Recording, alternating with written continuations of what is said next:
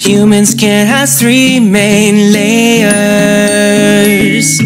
Epidermis. The outermost layer of skin. Dermis. Beneath the epidermis. Hypodermis.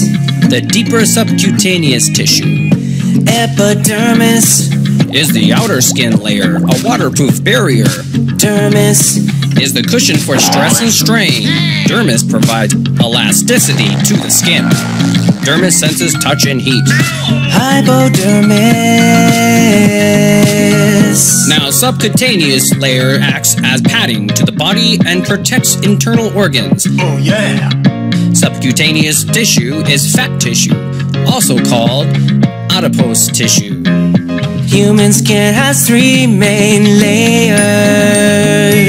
Structures of the skin are sebaceous gland, eccrine sweat gland, and apocrine gland.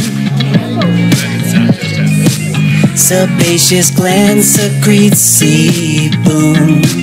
Functions of sebum inhibiting bacterial growth on the skin surface, lubricating and conditioning hair and skin.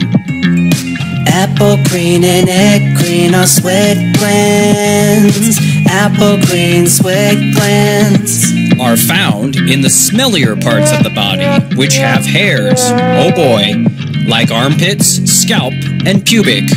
All apocrine sweat glands secrete their products into hair follicles and cause the sweaty, smelly odor.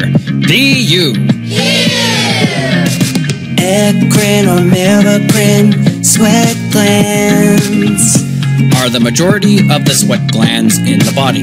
They secrete their products directly onto the surface of the skin. Eccrine sweat glands are found in the forehead, face, palms, and soles of the feet. Eccrine sweat glands regulate the body's temperature. Hair shaft, hair bulb, and hair follicle. Human skin has three main layers. These are the parts of the hair structure. Ruffini's corpuscle, Messinera es corpuscle, Pacinian corpuscle, and nerve terminations. Now, these are nerves in the skin that carry the sense of touch, pressure, pain, and temperature to the brain. Erector pili muscle. This helps to raise the hair upright on skin. Small blood vessels. Supplying nutrients and oxygen to the structures in the skin.